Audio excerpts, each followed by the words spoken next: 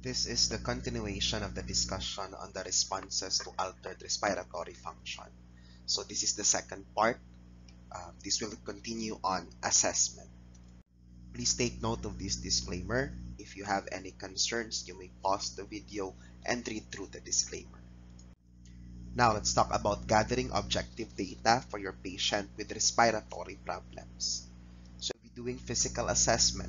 One thing that we can watch out for for our patient is clubbing. So clubbing is common as an indication of hypoxia. Okay, clubbing of the fingers is found in cyanotic or hypoxic conditions, especially among people with chronic lung infection and malignancy. So when I say clubbing, it is about the thickening of your fingertips.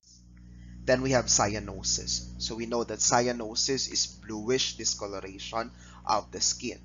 Okay, so in this case, your cyanosis is evident if at least 5 gram per deciliter of unoxygenated or deoxygenated hemoglobin is present in our body. If you can recall, the average normal hemoglobin is 12 to 16 if at least 5 gram per deciliter of this hemoglobin is unoxygenated, it would result to cyanosis. Then we have the upper respiratory structure assessment. So when I say nasal flaring, other references would refer to this as alar flaring. This indicates increased respiratory effort. Okay, this is oftentimes manifested by the redness of the nares or the nose of your patient because the patient is exerting additional effort. Now you also watch out for the color, swelling, drainage, and bleeding from your upper respiratory tract structures. So, drainage and bleeding could be indicative of trauma. It could also be indicative of internal injury.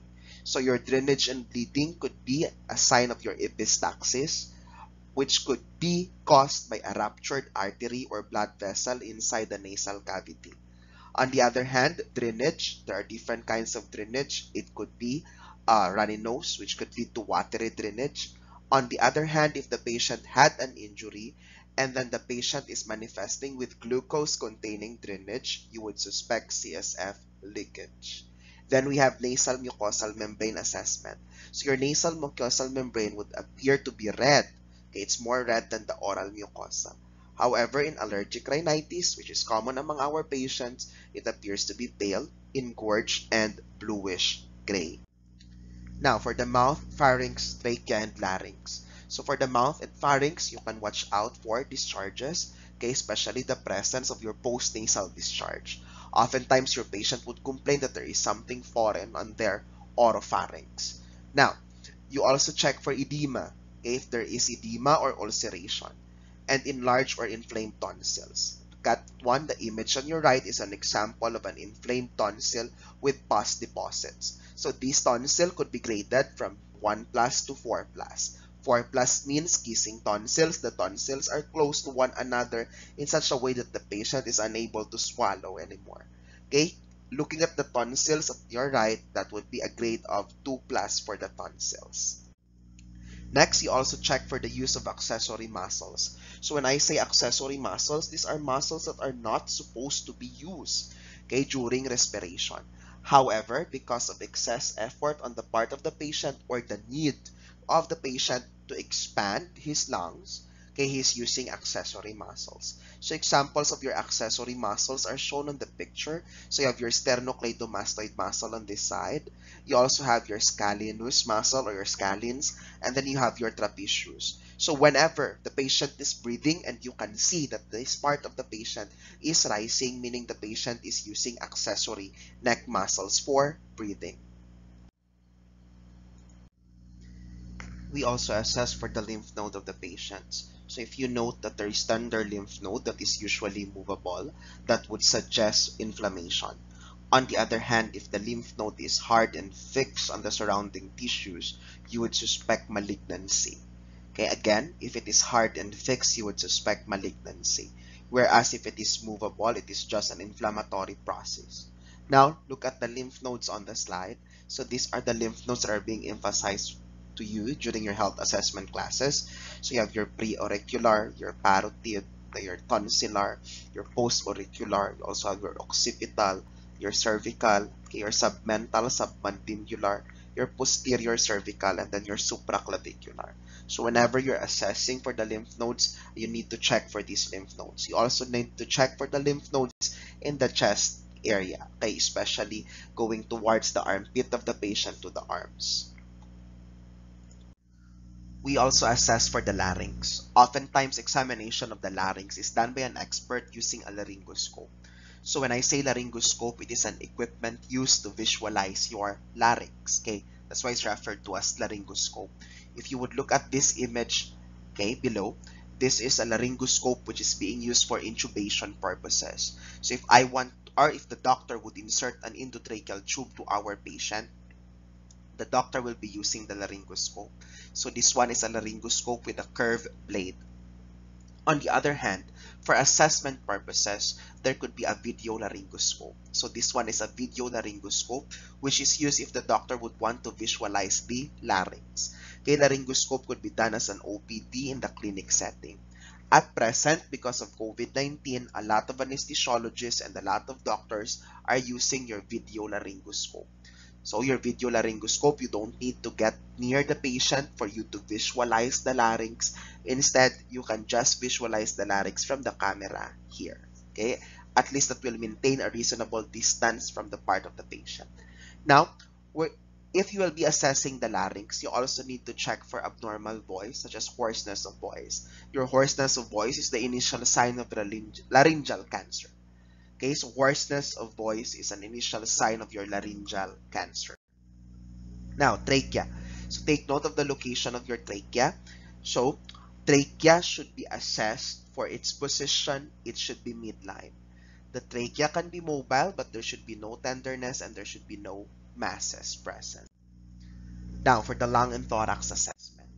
So, one thing that we can do is to check for impaired movement or unequal expansion. So we can do or we can check the expansion by observing directly the chest of the patient and then the posterior aspect. Or you can place your hands just like the picture on the slide. So if ever there is impaired movement or unequal expansion, this indicates your lung or pleural disease.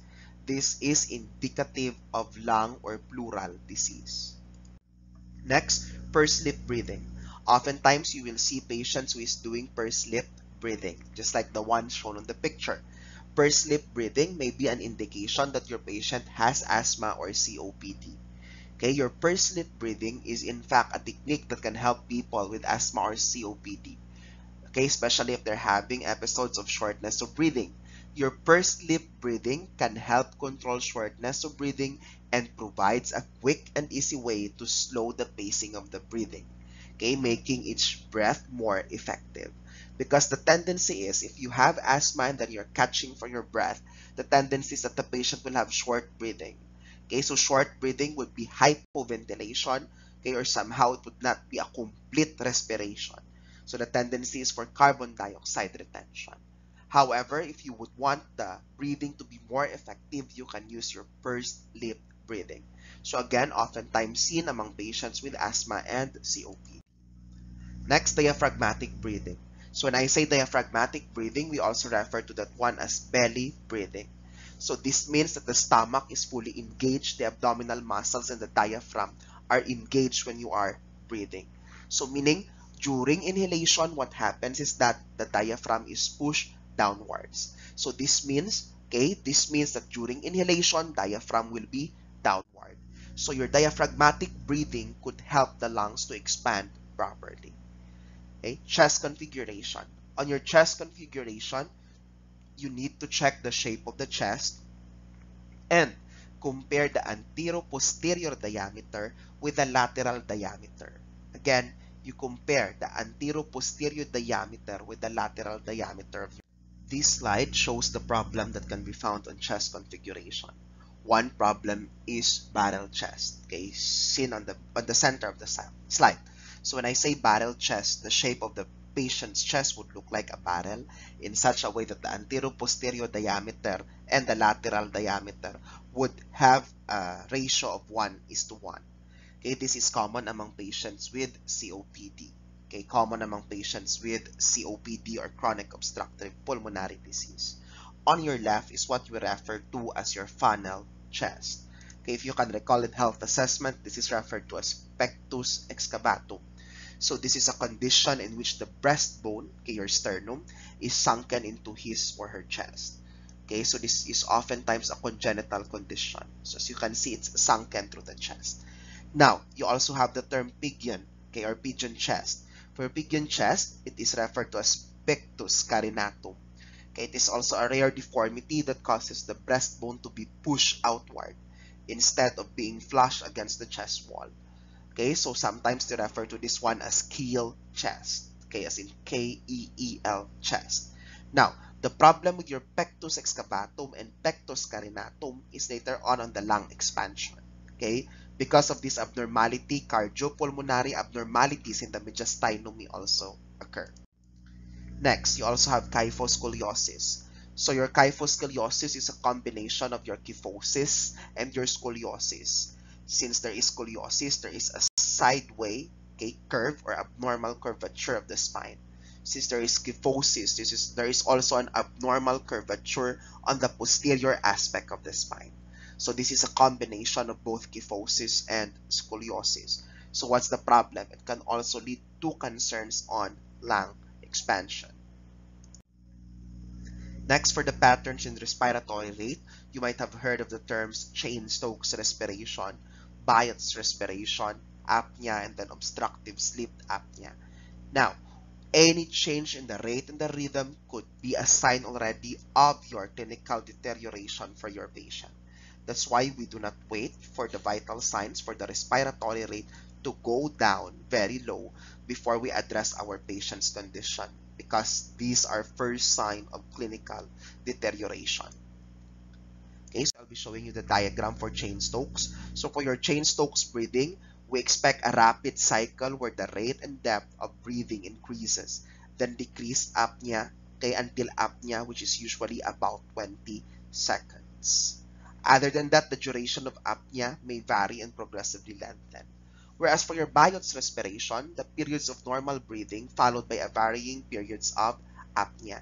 So in this case, for example, the patient is breathing one, two, three, four. Suddenly there will be apnea. Okay? Sometimes they refer to this as ataxic breathing associated with incomplete irregularity. So this is associated with respiratory depression, then drug overdose, brain injury. On the other hand, your Cheyne Stokes is indicative of heart failure and damages to your respiratory center, such as, okay, it could be drug-induced, it could be tumor, it could be trauma. Okay, take note. Now we also need to assess for retractions. So when I say retractions, it is always considered abnormal. An asymmetrical mark retraction on inspiration could indicate a blocked respiratory tree. So meaning, for example, when I say asymmetrical mark retraction, if there is an intercostal retraction on this part, however, there is no retraction on this part, that would indicate that there is a blocked respiratory tree, okay? Meaning a major branch of the bronchus is affected. Next, you have hemithorax. When I say hemithorax, it is characterized by the asymmetric bulging of intercostal spaces on either side of the thorax. So for example, okay, this is your intercostal spaces. So when I say hemi, it means one hemisphere only. So there is bulging of intercostal spaces on either side of the thorax. So if one side is bulging, the other side is not, there is a problem on the side that is bulging. Okay, that may be caused by excess deposits of fluid or inflammatory processes inside. Next, okay, so this one is a showing hemithorax secondary to pleural effusion. As you can see, the left side of the lung is already full of edema, okay, full of water congestion. So this is an hemithorax, okay, showing pleural effusion. So when I say pleural effusion, it is abnormal deposits of fluid in the pleural cavity. Okay, you might be wondering why this one is unilateral. This might be caused by a malignancy or an abnormal growth. Okay, so there might be a cancer here which cause for the deposits of fluid leading to pleural effusion. Now, palpation. During palpation, you check for tenderness. Okay, you also check for the vocal or tactile fremitus. You check for the presence of vibration, especially when your patient is saying 99. You check for the masses and swelling. So whenever you are palpating, you need to palpate all, all areas of the lung fields. Okay, so both anteriorly and posteriorly. Take note that your fremitus is felt during palpation. Okay, you refer to that one as tactile fremitus or you check for vocal fremitus. Now, crepitus. Crepitus is referred to as the crackling sensation. Okay, that crackling sensation is characterized or happened because of the air trapped in and under the skin, which you refer to as your subcutaneous emphysema. Okay, so your subcutaneous emphysema could be caused by your tracheostomy. Your tracheostomy could lead towards pneumothorax. How is it possible? Okay, your subcutaneous emphysema can result if there is tight closure of tissue around your tracheostomy tube, meaning the tube is very tight, there is tight packing material around the tube, and false passage of the tube into the pretracheal tissue. Now, if this happens, there will be pneumothorax. When I say pneumothorax, abnormal presence of air in the thoracic cavity. There may be pneumomediastinum. When I say pneumomediastinum, presence of air in the mediastinum or both. Okay? And this should be treated by loosening okay, the closure or packing with the performance of tube thoracotomy. So what happens? This is a tracheostomy tube. No? So when there is too much tightening okay, in this tracheostomy tube here, and then the tube is not on the proper place, let's say it's on a pretracheal tissue, there is a possibility that the air would go under the skin. Okay, so that would result to subcutaneous emphysema. Okay, so this is an example of a subcutaneous emphysema. If you can recall the earlier images, this should be the skin already of the patient. But, at you, but as you can see, there are black spaces here, okay, which indicates presence of air. There is air trapping. Okay, again, that is your subcutaneous emphysema. Based on the case of this x-ray, this x-ray is taken from a patient who had tracheostomy who had subcutaneous emphysema. Is this life-threatening? Yes, of course. Okay, especially with the massive amount of emphysema uh, other than the discomfort and crepitus that the patient could have. Okay, there might be also impairment on breathing process. Okay, so this one is an example of a left pneumothorax. So when we say pneumothorax, there is abnormal deposits of air in the thoracic cavity. Okay, as you can say, okay, there are no more bronchioles, okay, unlike this one wherein you can still see the branches of the main bronchi, the lobar bronchi, and then the segmental bronchi. But for this one, this bronchi here could not be easily seen, okay, which is a result of atelectasis, okay, or your left pneumothorax. So left pneumothorax, there is abnormal presence of air in the thoracic cavity. Fremitus refers to the vibration of the chest wall produced when the patient speaks. Oftentimes, we ask the patient to say 99, and that would produce vibrations. Now, note that this vibration is affected by the transmission of sound, and the transmission of sound is dependent on the density of the substance. Okay, the more solid the substance is, the higher the tendency that the transmission will be easier. Okay, or the transmission of sound will result to louder sounds because the proximity of the molecules of your solid is uh, more close, more in close contact with one another compared to liquid and gases. Okay, that's why fremitus is said to be decreased in pneumothorax because in pneumothorax, what happens? Okay, there is atelectasis and air could not easily transmit the message 99 to the lower parts of the lungs. Also the same in pleural effusion wherein there is excess presence of fluid and also the same for bronchial obstruction. Okay, so meaning if there is obstruction of the bronchus, the air could not pass through the bronchus. So the 99 could not be felt by the assessing nurse in the peripheral aspect of the lung fields. On the other hand, your fremitus is increased in the presence of pneumonia and abscess. Because remember your pneumonia and abscess, okay, both increase the density of the thorax. Now, percussion. Upon percussion, a healthy lung would appear to be resonant, okay, or would sound resonant. Remember, the normal sound of your lungs upon percussion is resonance. Whereas, if there is presence of lung tissue with fluid or solid, you would expect, expect dullness, okay, dullness. So when I say dullness in the lung tissue, that might signal that there is presence of mass. That might signal that there are a lot of fluids being stored in the lungs. Okay, whereas if you will say that there is there is hyperresonance, hyperresonance could be an indication of air trapping. Okay, meaning there's too much air in your thoracic cavity. Next, respiratory excursion. So when I say respiratory excursion, it is a measurement as to how your diaphragm can go during inhalation. Okay, so what the doctor here is doing is actually percussing for the location of your diaphragm, okay, which should be a little bit lower. Now, in respiratory excursion, the normal is 5 to 7 centimeters. If you can recall, the doctor will first initially determine where the location of your diaphragm is. And then after that, once it is determined, it will be marked. And then you will be asked to inhale, okay? Once you inhale, you expect the diaphragm to be moving downwards. Now, once the diaphragm is moving downwards, you need also to determine where is the lowest moment, moment point, I mean, for uh, the diaphragm. Okay, so you'll be doing your percussion to determine where the diaphragm is. Now, the normal respiratory excursion is 5 to 7 centimeters, which means the distance from the diaphragm's location during exhalation and then the diaphragm's location during inhalation your diaphragmatic excursion is decreased if the patient would have pleural effusion. Okay, your diaphragm will be found to be high in thorax, meaning it moved upward if there is atelectasis, meaning there is collapse of the lung tissues.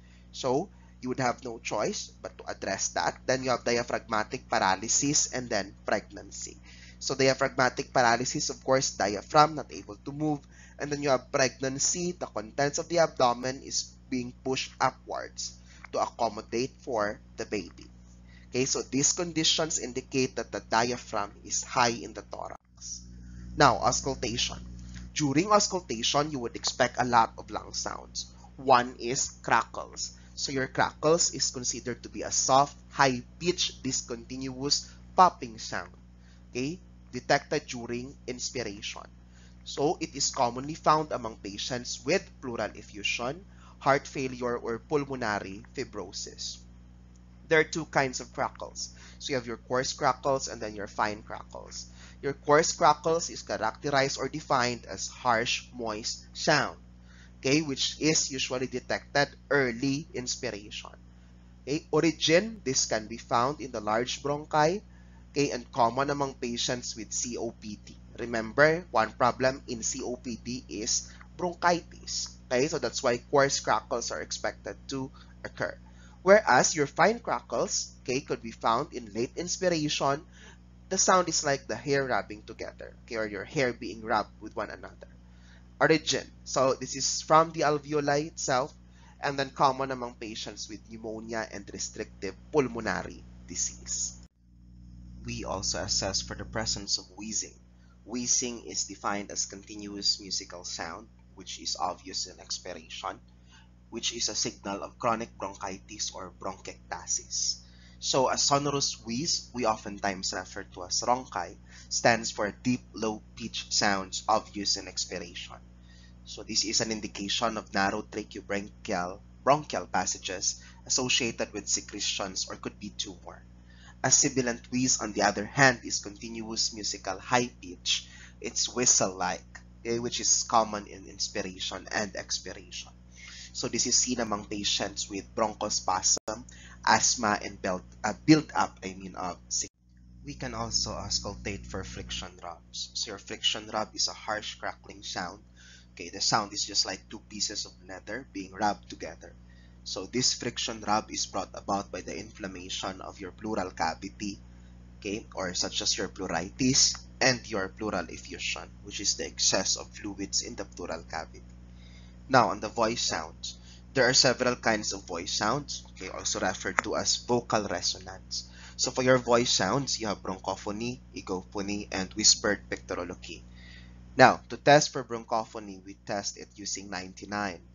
Egophony, we test it using by asking the patient to say E. Okay, normally it should sound as A. And for whispered pectoraloquy, we ask the patient to whisper some words and then we will be listening through the stethoscope. Whenever there is an increase in fluids, whenever there is consolidation in the lung fields, these sounds could be heard. Okay, these sounds could be heard. Okay, so these sounds could be heard clearly once there is consolidation or once there is too much fluid inside the lung cavity.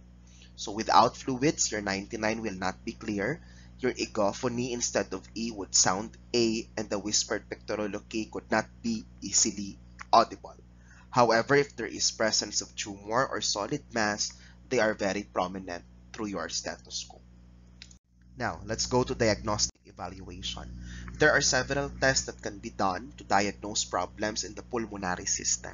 Let's start with the non-invasive test. First is your smoke analyzer test or your exhaled carbon monoxide test. So this test is measuring how much carbon dioxide in the body is being excreted, okay? Or measures the carbon dioxide specifically in the body. So the test would be useful to monitor smoking and to help people to quit and it will show if exposed to dangerous levels of carbon dioxide because of second-hand smoke. So looking at the image on the right, this is just a handheld device. Can be done on an outpatient basis. Then you have your Fagerström test. Okay, your Fagerström test is just a standard instrument which is used to assess the intensity of physical addiction to nicotine. So nicotine is the active substance that you can find in your cigarette. So as if you can see on the picture on your left, okay, that is the Fagerström test wherein the participant or the patient needs to answer yes or no. Okay, it's scored 0 to 1. Multiple choice items are scored 0 to 3. And then when they are summed up, they would lead to a score of 10. The higher the score, the more dependent the patient is on nicotine. Then we have culture. Okay, as mentioned, okay, when I say culture, culture is intended to identify the causative organism. For the respiratory tract, there are several routes for culture. It could be the throat, it could be the nose, it could be the nasopharynx. Then you can have the sputum specimen. The sputum specimen can be sent for microscopic examination. It can be sent for KOH examination. So when I say KOH examination, it is to rule out fungal specimens or fungal causation of disease. Okay, and it can also be sent for culture and sensitivity. Okay, so for your sputum specimen, it could be expectorated or through tracheal suctioning. So take note that your patient must be collecting sputum, meaning it should be from the lower respiratory tract and not saliva.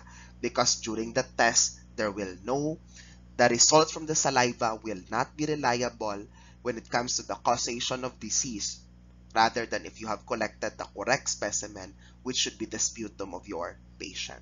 So it can also help identify presence of organisms and cancer cells. There are patients who would have difficulty to collect the sputum. Once ordered or agreed upon by the doctor, you can give a pulmoaid inhalation to the patient prior to collection of specimen for expectoration.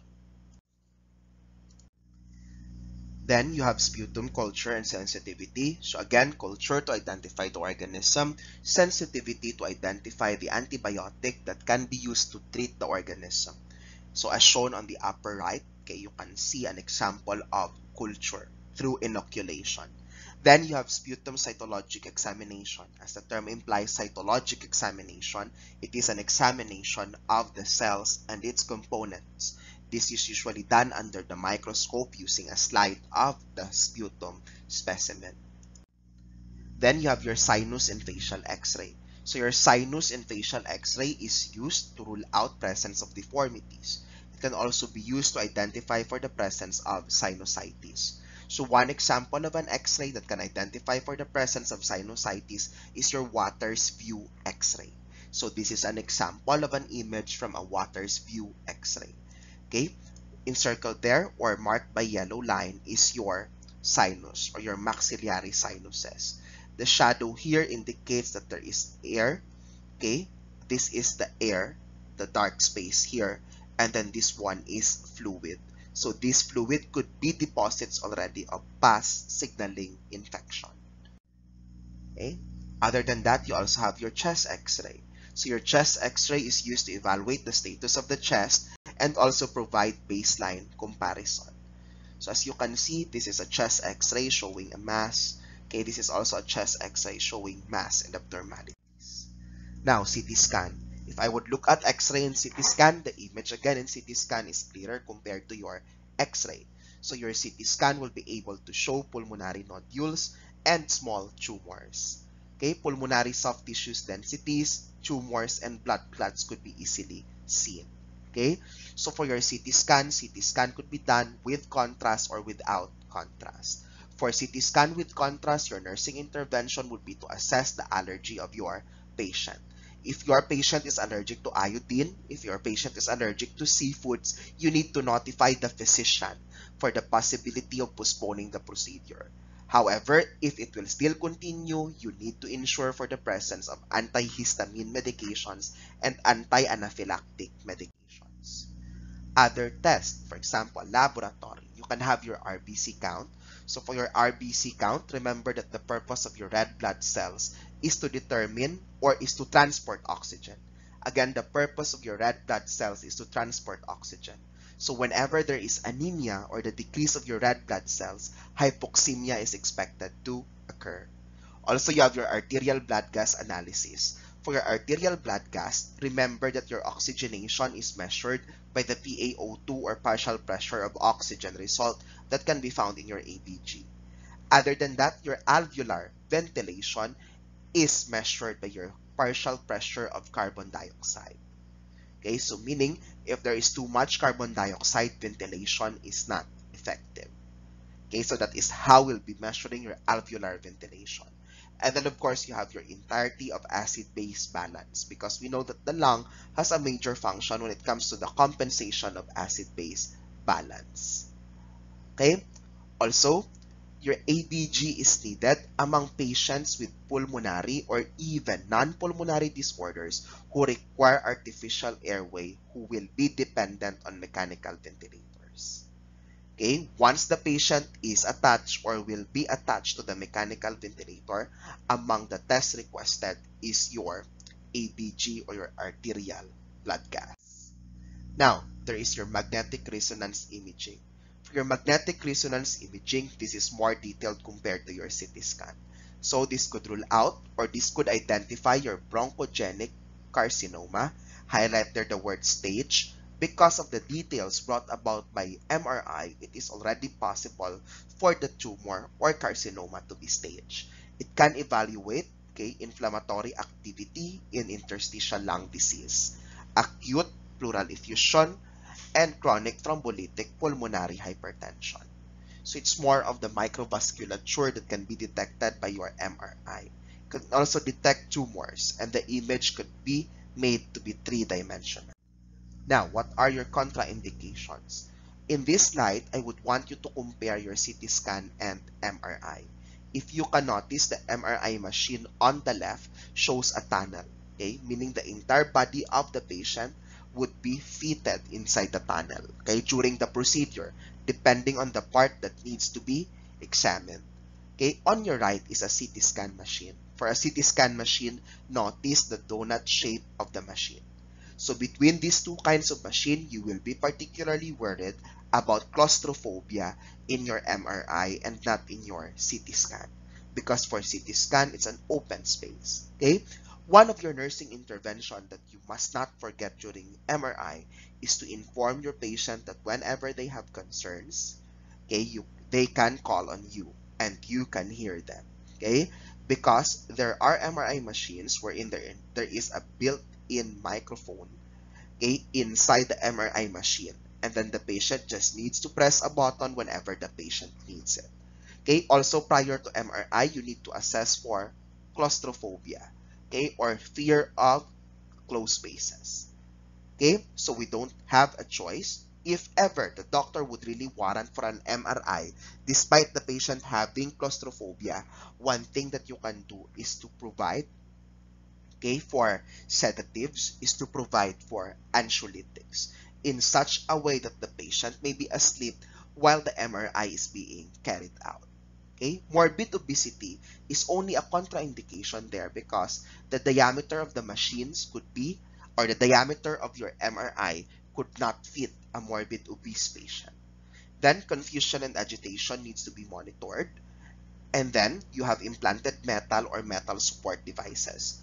Once your patient has an implanted metal or metal support devices, your patient could not undergo your MRI, especially if I'm talking about your uh, pacemaker. If I'm talking about metal implants that could be magnetized. Okay, so take note of that. Next, fluoroscopic studies. In your fluoroscopic studies, it allows live X-ray images to be generated via a camera. Okay, so the keyword there is live X-ray images. So fluoroscopy can take series of X-ray images. It is used to assist with chest needle biopsy or transbronchial biopsy. Transbronchial biopsy. So what do I mean by that? Okay, so during chest needle biopsy, a needle is inserted. Okay, so for you to be able to identify correctly where the site of extraction will be, you need a guidance. That could be either ultrasound or fluoroscopic. Also, this allows to study the movement of chest wall, mediastinum, heart, and diaphragm.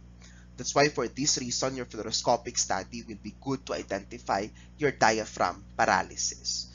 And then, it will also be able to locate your lung masses. Now, pulmonary angiography as the term implies angiography, meaning it will check on the patency okay, of your blood vessels. So this is to investigate congenital abnormalities of the pulmonary vascular tree. Okay, now, contraindications. If your patient is allergic to dye, okay, you are not supposed to participate. Next, if your patient is pregnant, okay, your patient might need extra precautions or we need to make sure that organogenesis is already done. And then if there are bleeding abnormalities that might cause for the postponement of the surgery. Hence, you need to check for the bleeding parameters before you would start your pulmonary angiography. Nursing interventions prior to pulmonary angiography. So you need to check for consent. Remember, this is an invasive procedure a dye will be given to the patient. You again assess for allergy because of contrast dye. You check for the coagulation panel. So depending on hospital policy, the coagulation panel may involve prothrombin time, activated partial thromboplastin time, clotting time, bleeding time, or if the patient is taking anticoagulants, your INR or international normalized ratio. Then you need to check for renal function test. Whenever you will be injecting dye to the patient, you need to check for the renal function test. That would include your BUN and creatinine. Okay, particular emphasis on creatinine. Usually, the patient is placed on NPO for 6 to 8 hours due to possible sedation during the surgery. Anxiolytics are given to minimize the anxiety of the patient. Okay, sympathetics are given to decrease discharges, and then antihistamines also to relax the patient. Now, you need to check or you need to inform the patient that during the procedure, she might feel warm, she might have that flushing sensation or chest pain during the injection of the dye. Okay, so this is to be expected. Now, after your intervention or your angiography, you need to immobilize the punctured artery. Okay, what do you mean by that? If it is on the right arm artery that needs to be immobilized okay because if it will not it might be dislodged okay or it might not promote healing of the said side now you also need to monitor for vital signs okay the level of consciousness and oxygen saturation okay so these are important because this can indicate progress of your patient's condition or if ever there are presence of complication during the angiography potential complications. Okay? If the kidney is not functioning properly or if the kidney had an anticipated reaction towards the dye, there might be an acute kidney injury. Okay? Acute kidney injury. Acidosis because also of the damage to the kidney. Cardiac dysrhythmias because remember this is angiography. Okay? This would involve your heart. This would involve instrumentation okay, towards your blood vessels, especially going towards your lung. So during the instrumentation or the insertion of the tube, it is possible that dysrhythmia can occur. And then again, we've mentioned about bleeding, which can be prevented or expected using your bleeding parameter. The next test is your ventilation and perfusion scan, oftentimes referred to as your VQ scan. So V for ventilation and then Q for perfusion. So the image at the background of this slide shows the result of your VQ scan. On the upper portion is the perfusion, on the lower portion is the ventilation. So this test would use a radioisotope substance to assess for normal lung function, pulmonary vascular supply, and then gas exchange. Now, when I say ventilation, remember that ventilation refers to the flow of air into and out the alveoli, while perfusion refers to the flow of blood to the alveolar capillaries. Okay? So again, when I say perfusion, it's about the flow of blood. When I say ventilation, it is more flow of air towards the alveoli. So this test could identify the areas of the lungs being ventilated and the distribution of blood within the lungs. So that is your ventilation and perfusion scanning. Now, gallium scan. Okay, gallium scan involves the use of gallium, which is also a radioactive substance.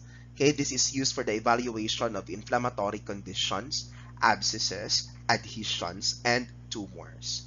This can also be used to stage your bronchogenic carcinoma and tumor regression after chemotherapy or radiation. Okay, if you would look at the results shown on the background of the slide, this shows a condition that we refer to as sarcoidosis. Okay, this is sarcoidosis. It is a disease that involves the abnormal collection of inflammatory cells from the lumps known as granulomas. Okay, so what happened here is that okay, there are deposits of inflammatory cells. Okay, we have uh, they have been calling this as the panda sign. Okay, so that is for your gallium test. So this one, uh, this one for the panda sign and then the image on its left is known as case of sarcoidosis. Then you have your positron emission tomography, or oftentimes we refer to as your PET scan. Okay, so it detects and displays metabolic changes in metabolism, or tissues, I mean. So you need to highlight the term there, metabolic, because it is among the function of your positron emission tomography. Also, it checks for nodules and malignancy, normal tissue from dead tissue differentiation. It also checks regional blood flow and distribution of medications. So when I say PET scan, the usual result of this will be a colored document or colored image which indicates the metabolism or usage of that substance to that person. Okay, so that is for your positron emission. Here are the nursing interventions for nuclear scans. So this would include your VQ scan, your gallium scan, and maybe your PET. Now, prior to the procedure, you need to orient the patient that an IV line will be inserted because the radioisotope substance will be passed through the uh, intravenous line. Okay. Added to that, substances like this are usually tested through IV test. Enema. An enema is given to ensure that the patient's bowel is already clean or clear, especially if the patient will undergo gallium scan. Chest x-ray before VQ is done okay, to serve as a pretest and for us to determine the size of the chest prior to your VQ scan. During VQ and gallium scan, radioisotope substances are used However, there is only a small amount of radioisotope. Hence, radiation safety measures are not generally indicated. Caffeine, alcohol, and tobacco are placed on hold for 24 hours because this can alter the metabolism of the substances used for our tests such as your PET scan. The patient is placed on NPO for 4 hours just to prevent the risk of aspiration, especially during the time that the patient will undergo your ventilation perfusion scanning and then your angiography. Okay? Now, you also need to check for uh, the use of catheter. Oftentimes, the patient needs to be on full bladder okay, to ensure absorption of these substances. However, later on, the patient might need to empty their bladder, hence you need to do your catheterization. after the procedure for to ensure drainage of the contrast media used or the radioisotope substance used, increasing the oral fluid intake would be necessary. Next, you have bronchoscopy. So the term implies bronchoscopy, meaning through the bronchus, okay? Visualizing the bronchus using a scope. Okay, this is an insertion of a tube into the airways with the purpose of viewing the airway structure and could be used to obtain sample. So the sample can be used for biopsy. So as you can see on the slide, okay, there is a tube, a fiber optic tube in this case, inserted towards the airway and then going towards the bronchus. Okay, the purpose of this one is to visualize the lower respiratory tract structure. Prior to bronchoscopy, here are the things that needs to be prepared. Okay, being an invasive surgery, a consent is necessary. NPO for 4 to 8 hours is necessary because remember there will be an instrumentation in the airway. During the instrumentation or the insertion of the bronchoscope, the gag reflex may be activated. Hence the risk for aspiration. That's why the patient should be on NPO for 4 to 8 hours. Then you have the administration of atropine. So atropine is intended maybe to decrease the uh, secretions. Other than that, it could also inhibit your vagal stimulation.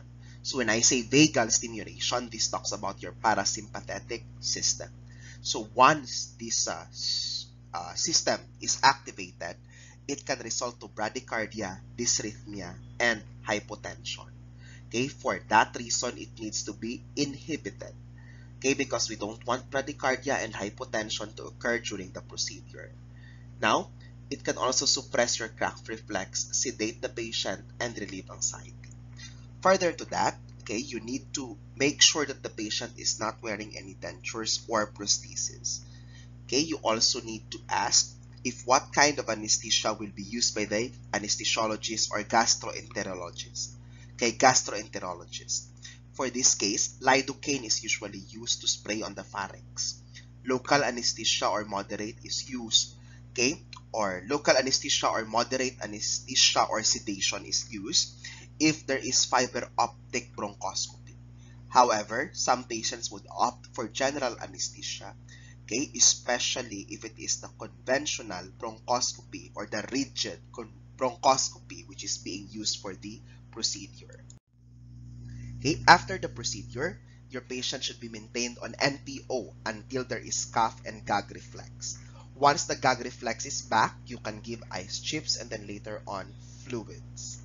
Okay, for an old adult, you need to watch out for signs of confusion and lethargy. This could be a sign of anesthesia overdose or this could be the sign that the patient's body is not able to excrete okay, the anesthesia. It is expected within the first 24 hours that there will be small amount of blunt pinch sputum because remember you inserted an instrument through the bronchus. So you would expect on the first 24 hours to be present is a small amount of blood pinch sputum. However, on discharge precautions, you still need to educate your patient that whenever there is sudden onset of shortness of breathing or bleeding, okay, they need to go back to the physician and they need to go back to the hospital right away. Next is thoracoscopy. The term implies again, thorax, oscopy. Okay, so this is where the pleural cavity is examined with an endoscope and fluid and tissue that can be obtained for analysis. So basically, they have the same purpose of collecting the specimen. However, this one, thoracoscopy, okay, is examined with an endoscope and fluid and tissues. So it also involves analysis, oftentimes done by the patients who are in doubt of their prognosis. For thoracoscopy, here are the nursing interventions that needs to be done. Okay, so you need to get consent, remember. Okay, this is an invasive procedure with a lot of risk. You need also to maintain the patient on NPO. Now, post-op, you need to check on vital signs, the pain level, the respiratory status, bleeding, and infection. If the patient is complaining of shortness of breathing post-thoracoscopy, you need to assume for the presence of pneumothorax. Okay, you need to assume for the presence of pneumothorax. whenever there is shortness of breathing after thoracoscopy. Now you have thoracentesis. So as the term implies, still on thorax, and then synthesis is um, excretion of fluids. So hence thoracentesis. Now, thoracentesis means aspiration of pleural fluid or air from the pleural cavity. That can be used, okay, that can be used for diagnosis and treatment. So oftentimes, if a patient would have uh, thoracentesis, the specimen bottles are sent to laboratory for testing. Okay, then you have your ultrasound. So this one is, is an ultrasound guided procedure. Okay, this is an ultrasound guided procedure. What the doctor may be doing here is, okay, the doctor is holding a Doppler. It might be attached to an ultrasound machine where he is looking at the ECG findings. Okay, however, she also needs to be careful with the needle being injected. After your thoracentesis, you need to watch out for pneumothorax, especially within the first 24 hours. This is somehow an anticipated uh, complication that needs to be prevented. So when I say pneumothorax, it can be detected through your auscultation if there is diminished lung sounds during auscultation. Okay, that's why you can do it by comparing the two lung sounds bilaterally, okay, your left and your right. So you watch out for the following manifestations of pneumothorax. That would include pain on the affected side. Okay, there is feeling of air hunger. And then they would say that the affected side, there is no movement already for the lungs. And then there is tracheal deviation. So when I say tracheal deviation, okay, this means that the trachea is not on the midline. Instead, the trachea is moving towards okay, the center of the neck or moving towards the other side which is unaffected. Okay, take note of that. So if you have tracheal deviation, that would signal that there is something wrong on the left side of the lungs, for example. The next term is uh, mediastinoscopy. So in your mediastinoscopy, okay, a tube is being inserted through the chest wall above the sternum into the area of the upper chest between the lungs. Okay, so as you can see here in the image, a bronchoscope is being already inserted, or sorry, a mediastinoscope, okay, which is a flexible tube, is already inserted towards your mediastinum. Okay, so uh, this one is used to visualize also the structures there which are outside your heart and your lungs. Generally, this is done in the OR within general setting. Another diagnostic test is biopsy. Biopsy would involve the excision of a small amount of tissue on the specific part of concern to obtain sample for histologic analysis, culture, or cytologic examination. When we're talking about cancer, the diagnostic standard for cancer is biopsy. It can help us identify the type of cancer. If it is an infection, it can also help identify the underlying causative organism and then the inflammatory processes involved in the specific lung disease. There are different ways of collecting specimen for biopsy. So we have surgical and non-surgical. For surgical, you have your pleural biopsy. We also have your lung biopsy. For your pleural biopsy, we are using your pleuroscope. For the lung biopsy, it could be needle aspiration.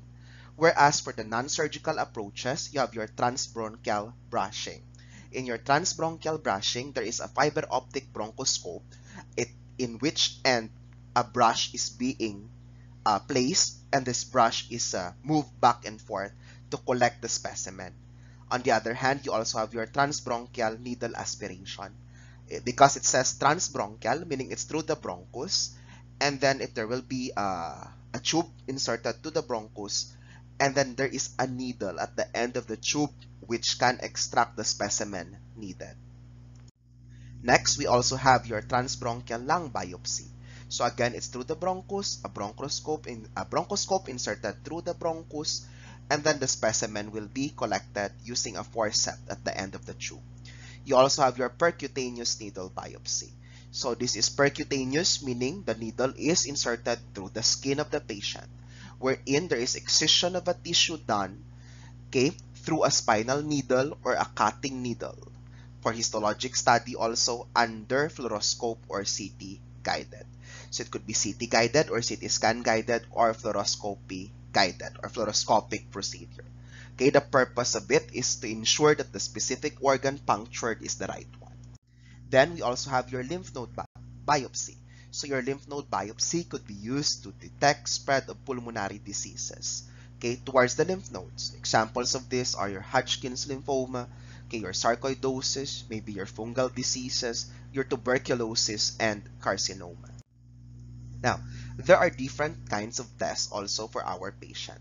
One is your pulse oximetry. So for your pulse oximetry, it is a non-invasive method of monitoring the oxygen saturation of our patient. It identifies hemoglobin saturation, the normal value of which is at 95 to 100. Okay? However, if the value will be below 91 or below 86, it is considered an emergency. Take note that the pulse oximetry can detect desaturation even before the appearance of the signs and symptoms of poor oxygenation, which would include your dusky skin, your pale mucosa, pale or pale uh, blue nail beds. Okay, so before these symptoms would occur, your pulse oximetry would already be able to detect the decrease in the O2 saturations. So this is an example of your pulse oximeter. The one that you are familiar of is on the left. Okay.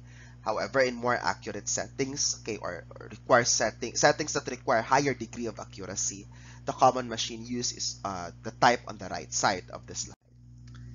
Now, so the causes for low reading would include patient movement, okay, if there is a decrease in the temperature in the extremity or hypothermia, decreased peripheral blood flow, ambient light, okay, maybe sunlight or infrared lamps, decreased hemoglobin, edema, and then fingernail polish. Okay, also take note that there will be a problem on the reading of the pulse oximeter if the patient has carboxyhemoglobin. So when I say carboxyhemoglobin, it is hemoglobin binded to carbon monoxide. Okay, the pulse oximeter may be able to read a 100% reading on the pulse oximeter when in fact most of the red blood cells are already attached to the carbon monoxide, making it carboxyhemoglobin. So if you are suspecting for carbon monoxide poisoning, pulse oximeter is not a good indicator of your O2 saturations. Okay, you also have your pulmonary function test. So your pulmonary function test would evaluate the lung functions for the breathing problems. So this would include the volumes that we have discussed earlier, including your tidal volume, including your inspiratory reserve, expiratory reserve, your residual volume, and your vital lung capacity. Okay, this also includes your diffusion capacity, gas exchange, airway resistance, and distribution of ventilation. During this procedure, which is non-invasive, the patient is asked to inhale, and then exhale using a machine. Okay, and then it will be recorded by the computer if how much or how many ml of air is being inhaled and exhaled by the patient. Okay, the test is usually done under the supervision of a pulmonologist or under the supervision of a respiratory therapist. Now, with all the data in mind, the following are the possible nursing diagnoses that our patient may have. One is ineffective airway clearance, okay, as evidenced by shortness of breathing. Okay, ineffective airway clearance may be related to increase of secretions. Ineffective breathing pattern may be related to poor diaphragmatic excursion, whereas impaired gas exchange may be related to damages on the alveoli. Now, these three nursing diagnoses all pertain to airway and respiration you need to be familiar with the difference between these three nursing diagnoses for you to efficiently manage your patient. When I talk about ineffective airway clearance, the problem is the airway. Okay, so the common example is secretion, meaning the airway is not clear for the air to enter. Another concern there could be airway resistance. So if your patient is asthmatic, that is an airway clearance problem. Now, when I say ineffective breathing pattern, this is brought, uh, brought about, I mean, by hyperventilation, hypoventilation, occurrence of your Kussmaul, okay, Cheyne-Stokes, or Biot's respiration. Okay, what is involved in your breathing pattern is the pattern itself. Okay, so you need to watch out for the pattern. Maybe you need to determine the rate, rhythm, and depth of respiration for your nursing problem ineffective breathing pattern to be justified. Also, breathing pattern is affected by your ventilation. Okay? It is also affected by your ventilation involving inspiration and expiration. You need to ensure that the diaphragm functioning or the diaphragmatic functioning is intact okay, to resolve the problem on ineffective breathing pattern. So, this is evidenced by cough, diminished abnormal sounds, cyanosis also, and restlessness. Impaired gas exchange. Impaired gas exchange problem usually involves the alveoli. Okay, so impaired gas exchange related to alveolar, maybe constriction, okay, alveolar inflammation, as evidenced by cyanosis. Okay, abnormal respiratory rate rhythm, alar flaring, tachycardia, diaphoresis, confusion. One best diagnostic test that can prove that there is a gas exchange problem is your arterial blood gas results.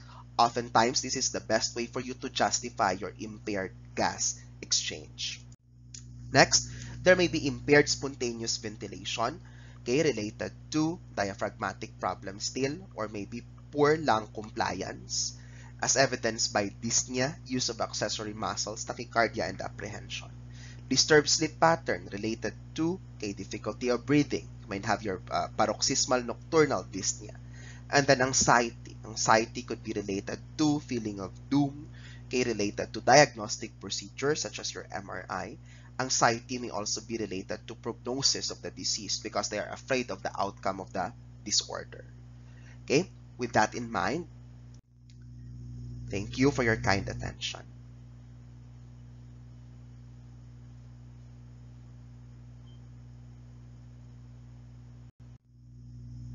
And would also like to acknowledge Professor Gesto as the source of the outline for this presentation.